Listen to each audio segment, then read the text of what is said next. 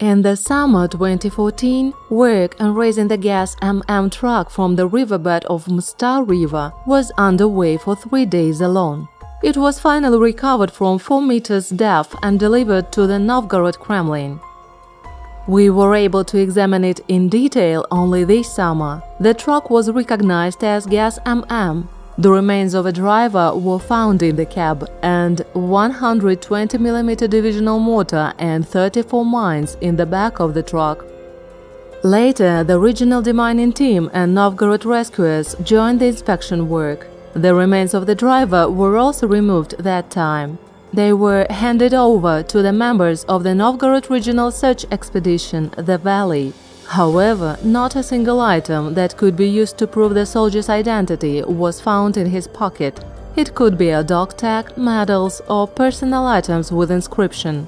It was only clear that he died in the winter 1944 during the offensive operation of the Soviet troops to liberate Novgorod. But the searchers do not lose hope of finding information about the deceased in the military archives. The loss of the truck with the divisional mortar and full ammunition should have been reflected in the frontline reports.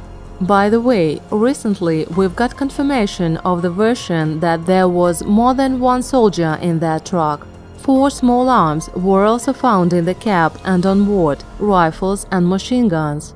So perhaps the searchers from the valley will be able to establish the names of several more soldiers who died there.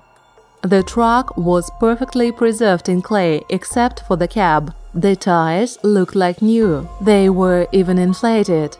The frame and the engine by the Czechoslovakian Bata Company 1939 release were intact. After half a year, the truck was completely restored.